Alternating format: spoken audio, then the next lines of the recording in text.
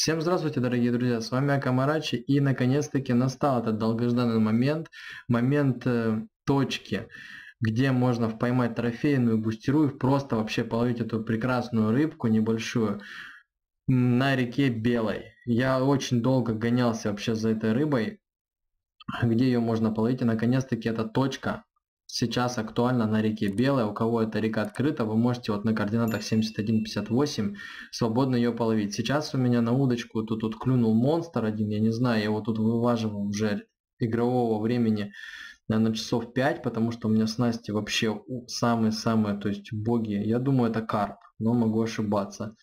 Сейчас посмотрим, что это попалось. По-моему, карп. Да, это попался карп. Офигеть, личный рекорд, 2.46. Это что-то, это вообще бомба. Ловлю на карамель, сборка снасти, сейчас я вам продемонстрирую. Все стандартно, кроме флюрокарбонового поводка. Естественно, поводок я брал исключительно из-за густеры, то есть, как более корректно выразиться, то есть гнался быстрее за поводком, чтобы половить эту прекрасную рыбу. О, видите, поклевочка. Возможно, густерка надо ловить. Кстати, карась здесь тоже, естественно, попадается, но не часто. Я ловлю здесь с 11 часов утра игрового времени и это, по-моему, у нас карась. Только вот за него вспомнил. Да, карась имеет место быть. И вот такой вот у меня улов с 11 часов утра. Улов, скажу честно, не фонтан. Конечно, бывало и лучше по улову, но есть такой клипса 20 метров ставим закидываем по карте вот сюда в эту яму 2 метра глубина где и пытаемся что-то поймать. Но я же говорю густера клюет когда клюет когда не клюет то есть по-разному. Но если вы видите что у меня есть несколько экземпляров то значит все-таки место такое. Профитное половить здесь можно да и в чате как видите густера присутствуют. Поэтому надо только ждать. Трофей тоже здесь, естественно, заходит. Все есть. Просто надо немножечко времени подождать. Посмотрим, что у нас будет по поклевкам ночью. И, естественно, потом это все мы продадим и глянем, сколько у нас будет финал денежных средств. Надеюсь, хотя бы монеты за переезд сюда и, и назад на вьюнок мы с вами отобьем деньги а вообще я даже планирую заработать. Да и остаться здесь не мешало бы, потому что следующее видео, возможно, так как э, нарушила вся, все мои планы точка на густеру, можно половить здесь Хариуса. Многие говорили, многие писали, чтобы я поехал сюда и половил Хариуса, потому что уже открылся поводок. Будем пробовать, ребят. Поэтому, думаю, следующее видео будет Хариус. Но не зарекаюсь, потому что все может измениться в один щелчок, если добавят опять какую-нибудь актуальную точку. Ночью у нас первая поклевочка. Давненько не было поклевок никаких. Это вот первая в ночное время суток. И, по-моему, густера. Сейчас вытащим, посмотрим. Да, зачетная густера. Четко клипса. Также двадцатка у нас стоит.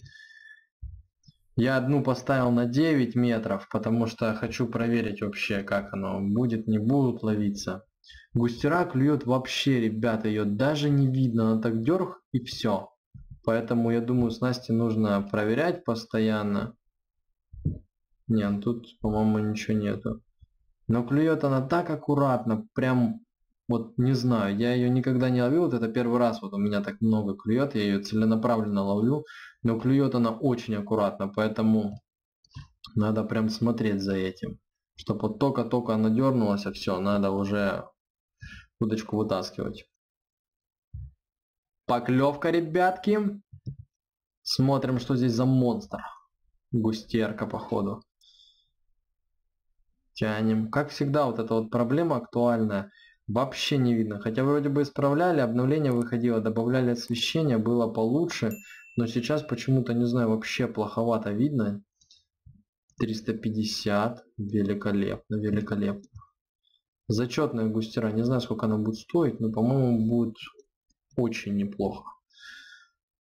Но люди ловят, поэтому... Ну, это прям хорошо клюнуло, прям было видно. А то обычно так дерг-дерг и все.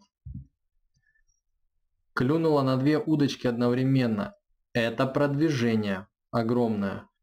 Днем таких поклевок не было. Вот с 12 до 9 часов вечера просидел вообще ничего не клевало. А сейчас вот прям вроде бы пошло. Тут вот чтобы не сглазить. Но это правда карасик. Карась нас не интересует. Наша цель бустера. Люди вон в чате пишут 150 серебра за час. Будем надеяться, что и мы столько заработаем. И снова, дорогие друзья, на две удочки одновременно поклевка. Что не может не радовать? Люблю, когда такой клев. Тем более, наконец-таки густера, аж душа радуется, вы себе не представляете. Столько времени я ее искал. Точка на вьюнце. Она оказалась э, мертвой. Точка на остроге оказалась мертвой. Другое место на остроге оказалось мертвой. Потом наконец-таки на остроге она появилась, и я прибежал. Пробовал лески, что только не пробовал, и крючки. Без поводка густера не хотела брать. И я такую точку прибыльную я так и потерял. Потерял, не успев, так сказать, пофармить рыбу. Кто-то гоняется за трофеями, кто-то гоняется за огромным количеством заработка, а я именно хотел половить этот вид. И вот наконец-таки я отвожу душу этим ловом, потому что столько времени, столько сил потрачено, чтобы вообще и вам место показать, и показать, что оно актуально, что оно рентабельно на данный момент, и в итоге все в никуда, все зазря. Но сейчас, сейчас я могу в принципе сказать, что вот, да, гляньте, сколько у нас густеры, 7, 8, 9, 10 штучек. И это еще не конец. Будем ловить до 11 часов утра и посмотрим, сколько за час мы поймаем. Но тут нужно не забывать, что мы ловим с вами без прикормки. С прикормкой, возможно, было бы дело лучше намного. Поэтому, если у вас есть возможность прикормить, обязательно прикармливайте.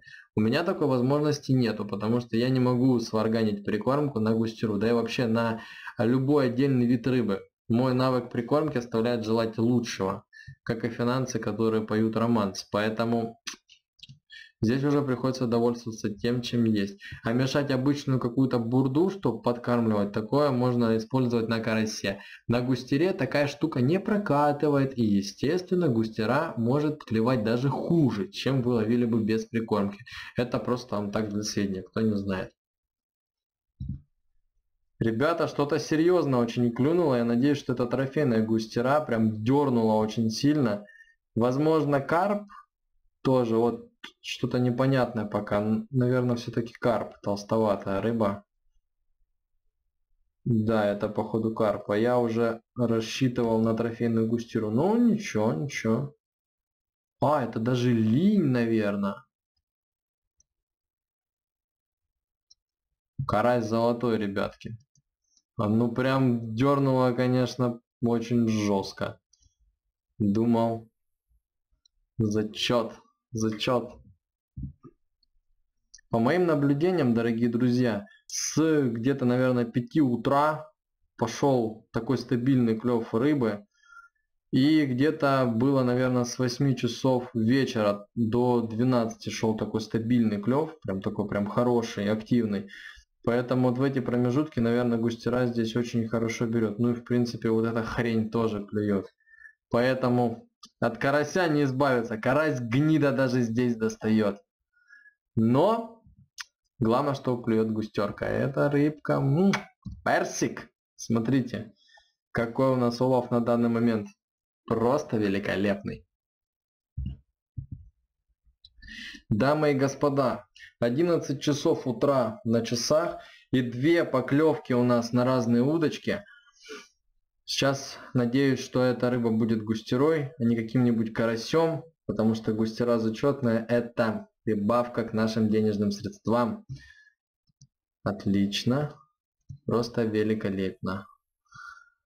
Удочки убирать не буду, потому что еще половлю. И сейчас вытаскиваем еще одну.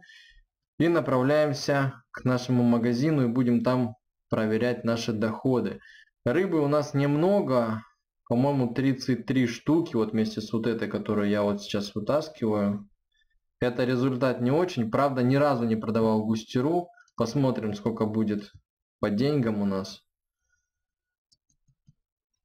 Кекс. Есть контакт.